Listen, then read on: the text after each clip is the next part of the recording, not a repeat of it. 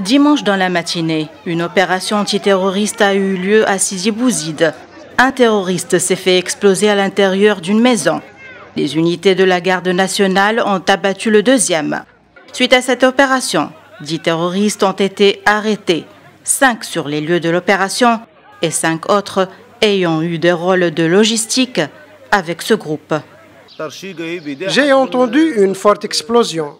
J'ai tout lâché et je me suis rendu sur les lieux pour voir ce qui se passe.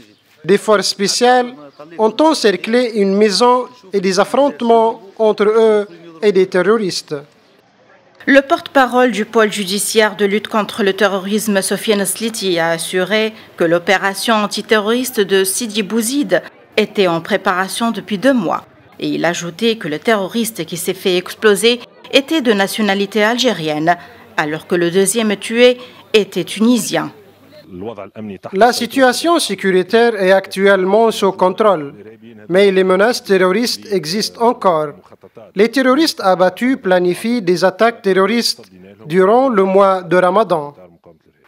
Suite aux affrontements entre sécuritaires et terroristes, le Bureau régional de l'Union générale tunisienne du travail a tenu une réunion et décide d'annuler la journée de colère du 1er mai. A rappelé que cette opération sécuritaire qui s'est déroulée à Sidi Bouzid s'associe avec des protestations sociales à Tataouine dans le sud du pays. Une opération sécuritaire se termine avec succès à Sidi Bouzid, tandis que le combat contre le terrorisme continue. Najwa TV, Tunis.